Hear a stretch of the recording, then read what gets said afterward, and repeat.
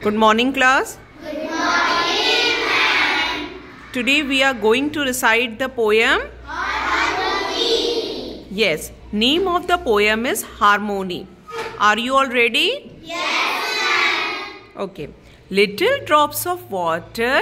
Little drops of water. Little grains of sand. Little grains of sand. Make the mighty ocean. The pleasant land. And the pleasant land. Little words of love. Little words of love. Little acts of kindness. Little acts of kindness. Little deeds of warmth. Spread a smile and happiness. Spread smile and happiness. Okay. Start.